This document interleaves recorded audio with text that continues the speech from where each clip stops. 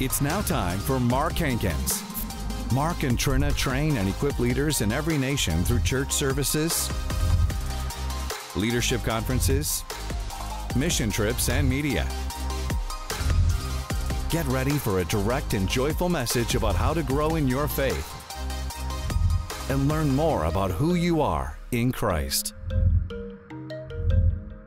Now, let's join Mark and Trina.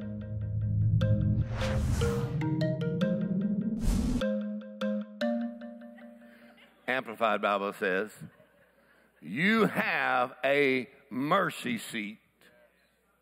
A mercy seat. A mercy. Now, why does it say that? Because the word propitiation, New Testament concept, would be a mercy seat. Because that's where the blood was sprinkled on the mercy seat. And that's where God said, I will meet you there. Exodus 25, 22. So he says, Exodus 25, 22, he said, if you want a meeting with God, God said, I'm going to tell you where I'm going to meet you. Amen. Somebody like that, he gets to choose. he said, not wherever you want to meet. He said, I'm going to tell you where I'm going to meet you.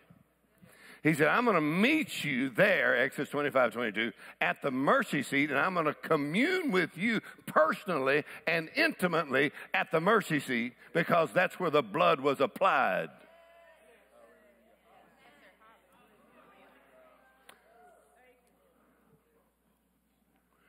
Wow. Say that backwards. Wow.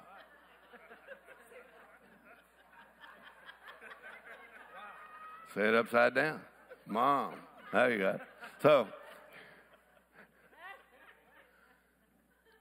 so if you want to get beyond just religion and have a meeting with God,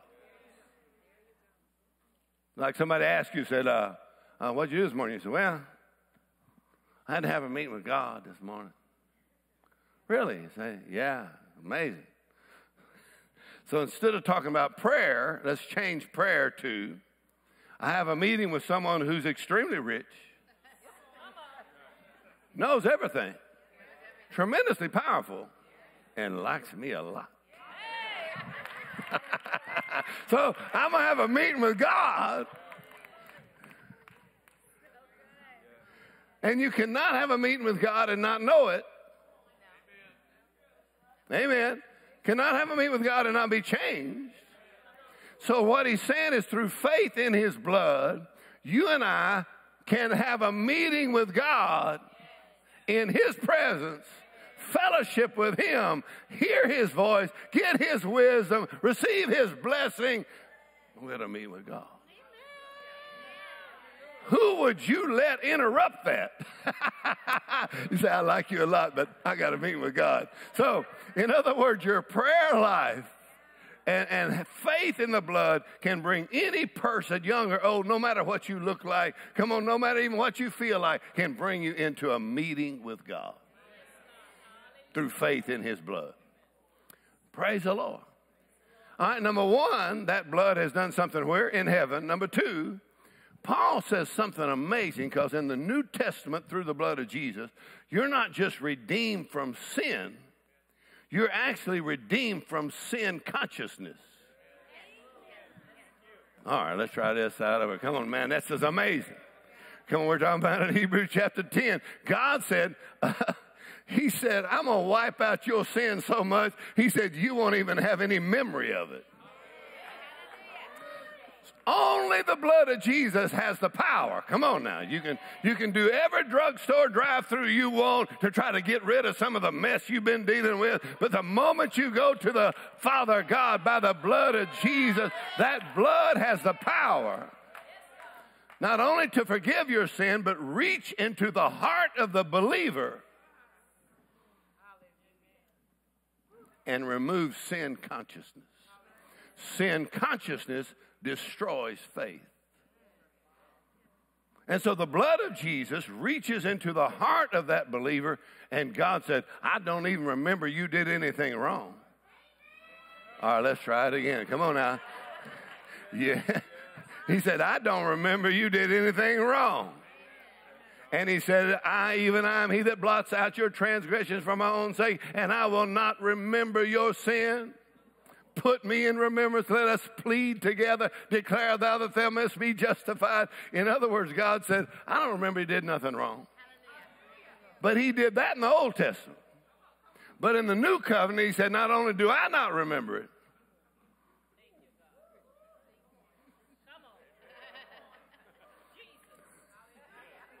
He said, You don't have to remember it either, man. You say, What am I going to have to do? Sling a little blood everywhere. Come on, have faith in the blood. Apply the blood. Come on, lift your voice and talk about the blood. Sing about the blood. Come on, like they did in Exodus, they put the blood on the doorposts of the house. So it's not enough to believe in the blood in the house. Somebody's got to get outside, put the blood on the doorpost, and say, Now, Mr. Devil, you ain't getting in here because the blood's on the doorpost. And God said, When I see the blood, I will, I got you covered. I will pass over you when I see the blood. I'm not looking for your talent. I'm not looking for how much money you got. I'm not looking for how cute you are. He said, I'm just looking for blood. When I see blood. So it's not enough to believe in the blood. There must be the application of that blood. Now listen close. In the Old Testament, the blood was applied with a branch they called hyssop. And so they dip into the blood and then they put it on the doorpost. In the New Testament, the blood is applied by faith. All right, let's say it this way. In the New Testament, the blood is applied with the hyssop of your tongue, the hyssop of your voice. Ooh, I said the hyssop of your confession of faith. Come on, somebody said this way. Andrew Murray said, he said, uh, you honor the blood by boldly confessing that it cleanses you from all sin. In other words, you don't really honor the blood by talking about how bad you are and all trouble, all your trouble. You honor the blood by saying, the blood has done exactly what God intended to do. The blood has done exactly what Jesus says it has done. It cleanses me from all sin, has made me the righteousness of God in Christ. Give me great boldness and confidence before the throne of God. I receive the grace and the mercy of God, and I apply that blood. And it reaches into the heart, into the deepest part of your personality, and silences the voice of self condemnation. All right, well, let's just try this out I said, come on. I said, the blood reaches into the heart of the believer, silences the voice of self condemnation. Even when you feel like you don't measure up, your faith is in his blood. Come on, because you can have guilt and shame and condemnation for years. Think about it. If you live in sin consciousness, it has the same effect on you if you were living in sin. All right, let's try this out. Come on, you may have quit sinning, but if you live in sin, sin consciousness has the same effect on you as if you were still living in sin. But the moment the blood of Jesus is applied, it actually reaches into the conscience of the believer and silences every voice of guilt or shame. Even if the feelings show up, you say, I live by faith. The blood of Jesus has done it all, paid for it all.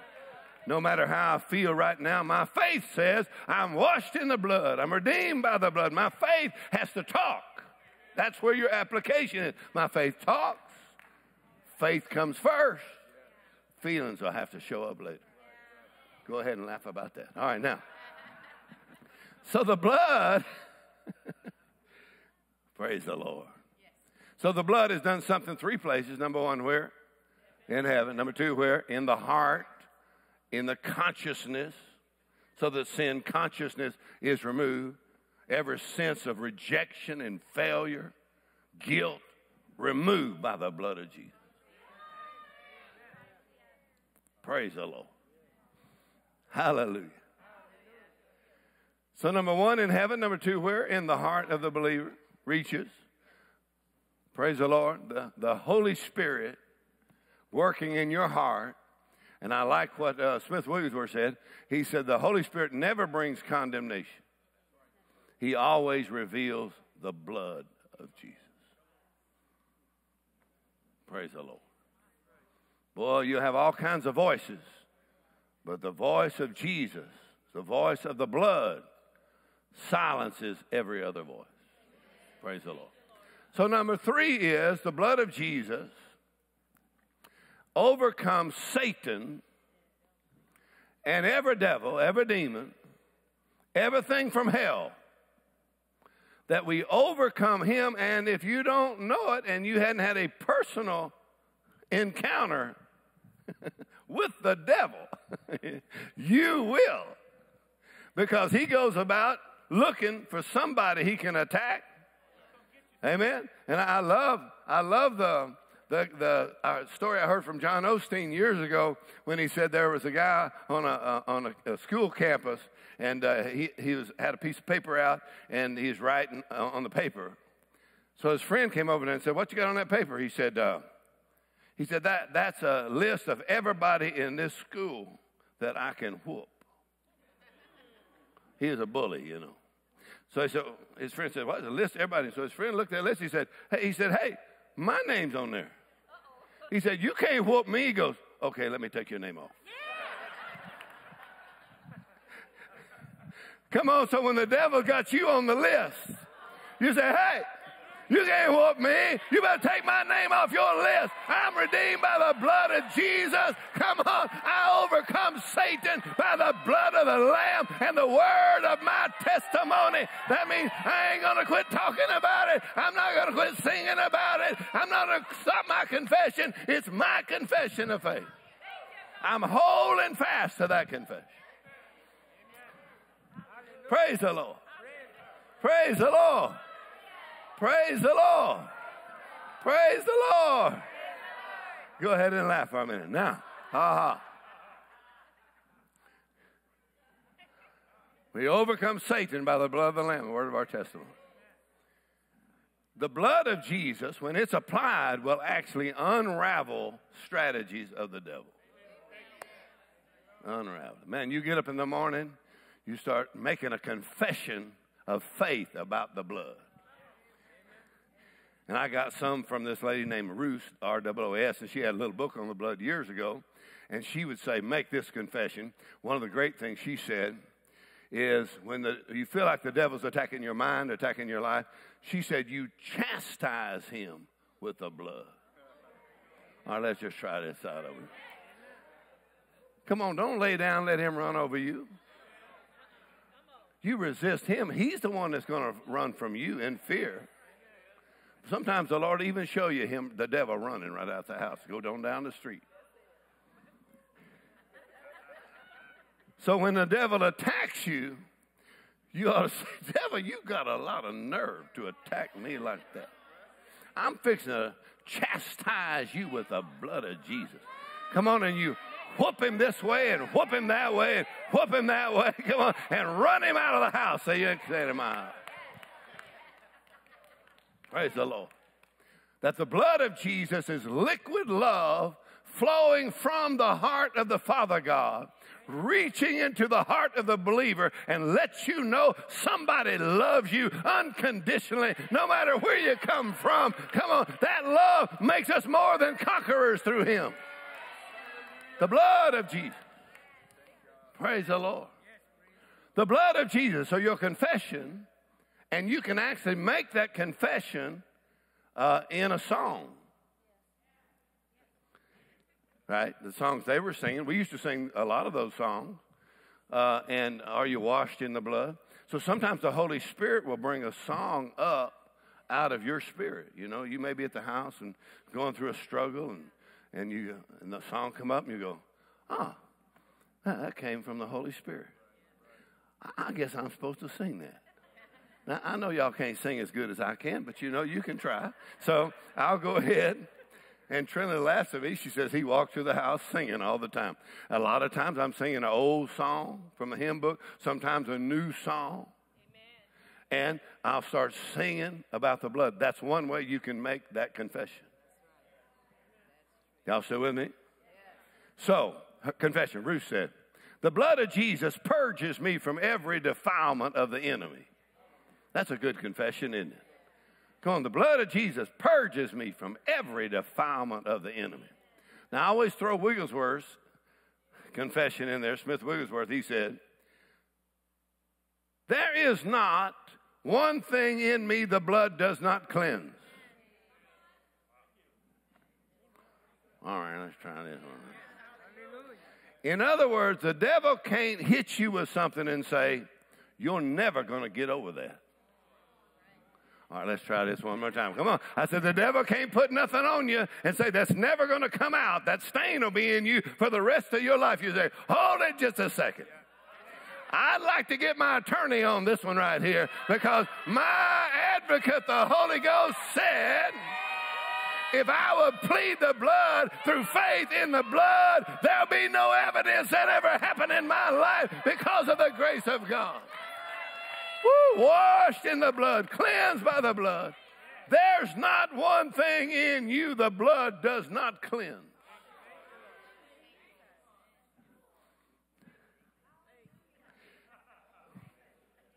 All right, again, here's another one from Ruth.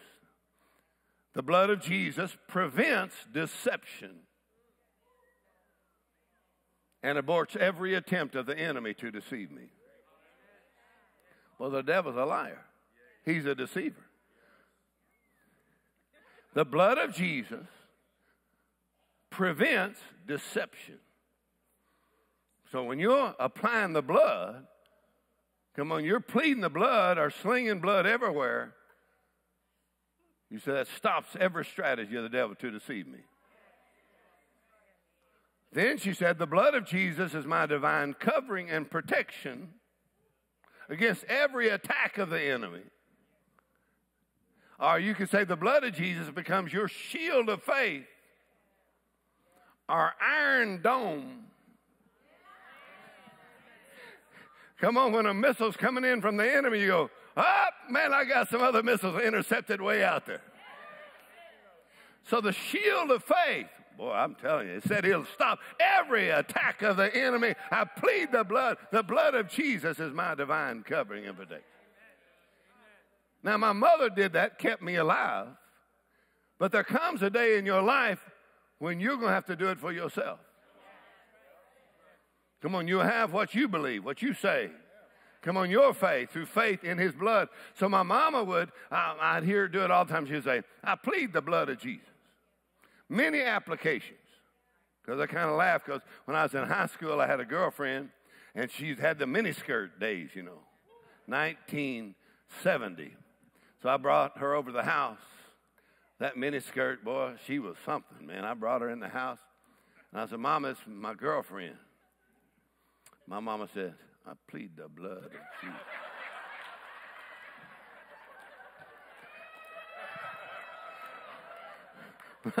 my, my girlfriend said, What did your mama say? I said, Nothing, it's nothing. well, you know, that girl didn't have a chance. Because when you start putting blood on the subject there, man, it wasn't long. She was gone. And I, brought Trina home from Bible college. My mama said, Thank God for the blood of Jesus. I thank God for the blood. Look what he brought in this house here. Thank God for the blood. Come on, got me a woman, got me a wife that loves Jesus, loves the Bible, loves to praise. Come on, loves to pray. Come on. Hallelujah.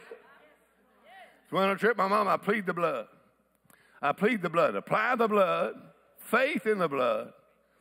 Amen. And the two ingredients of faith is number one, accurate knowledge. Faith requires accurate knowledge. In other words, it's not enough just to look at something. Here's, here's something Dad Hagin said, and I, I think you can, this will really help because uh, you already have information and knowledge on the blood but to have accurate knowledge of that and bring that into application. So faith requires revelation and application. Faith always requires a voice. You're going to have to say something about it. Your confession of faith. Amen? Amen.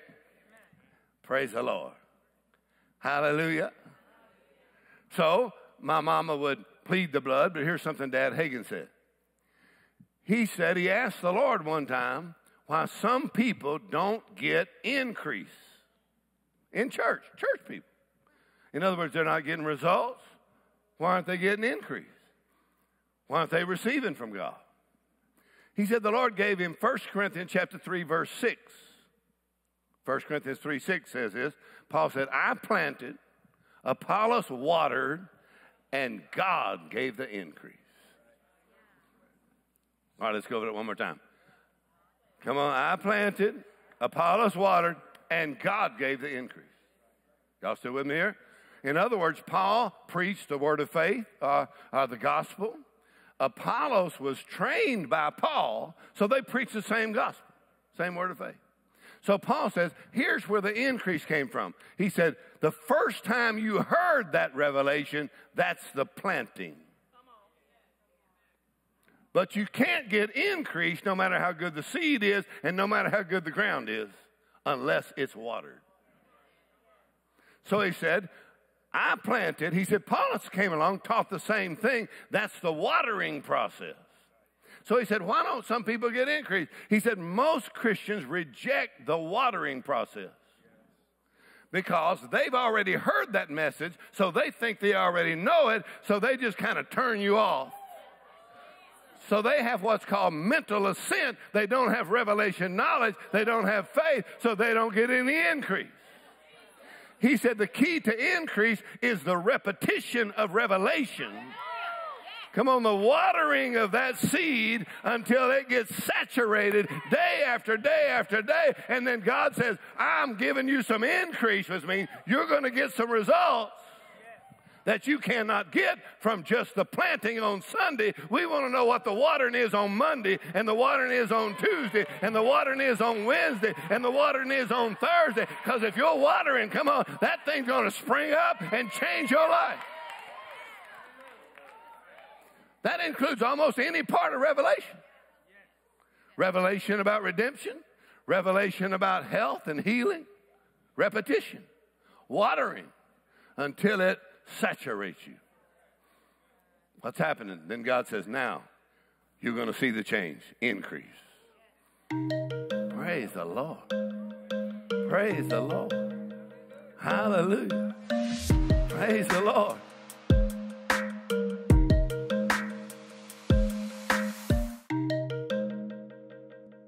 Watching Mark Hankins Ministries Faith for Every Nation. There's no doubt we're living in uncertain times.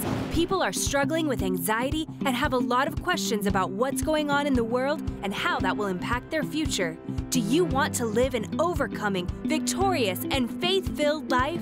In this new two CD set, How to Have a Meeting with God, in this set, you'll understand how, as believers, we have boldness and confidence to draw near to God.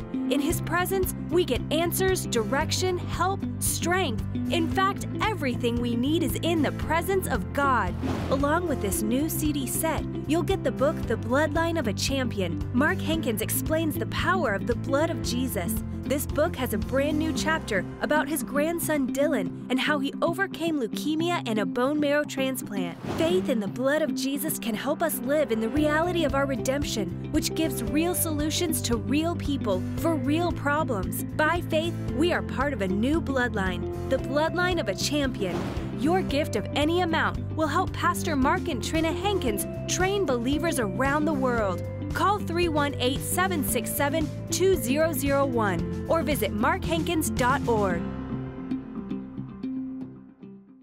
Thank you so much for joining us for the program today. Well, my parents have been talking about the bloodline of a champion, and we will send you the Bloodline of a Champion book for your gift of any amount. This book, if you've never read this book, this book is amazing and it's easy to read. It's power, powerful, powerful message, but it's also very easy to read. And it's exciting because you're finding out everything that you have because of the blood of Jesus. We want to make sure this book gets to you. So, your gift of any amount, we will send you this book.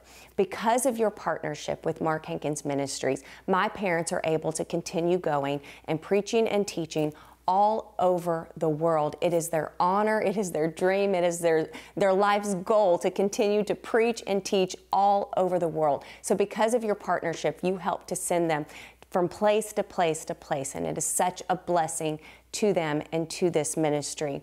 Also, because of your generous, generous donations, my parents have been able to translate the books into many, many languages. It's actually their vision and their heart to translate the books into 100 translations, 100 languages. So that will make a huge impact all over the world. And because of you, we are able to do that a little bit at a time. And we're so thankful to you. Thank you so much for believing and partnering with this ministry and with this vision and with this goal. We're so very thankful. Thank you so much. I'm Alicia Hankins Moran. Have a great day. The Mark Hankins Ministries app makes it easy for you to watch the latest TV broadcast. Listen to unlimited full sermons by Mark and Trina. Read our daily devotional and stay connected with upcoming events. Download the app today on any smart device. Simply search Mark Hankins Ministries. Start feeding your faith at any time and anywhere.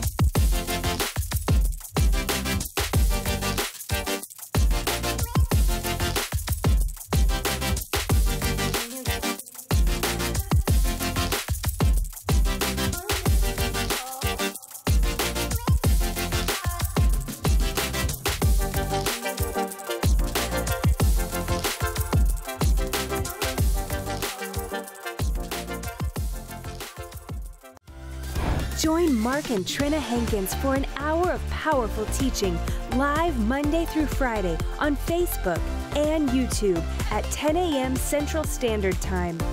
Everyone can join in Christ Bible School.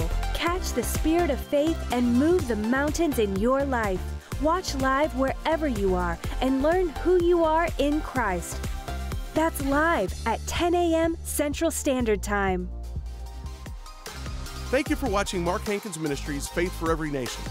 For more information on how to build your faith, visit markhankins.org. You can access many free word resources to help you find who you are in Christ. Stay connected with us on Facebook, Twitter, Instagram, or our YouTube channel. Thank you for watching.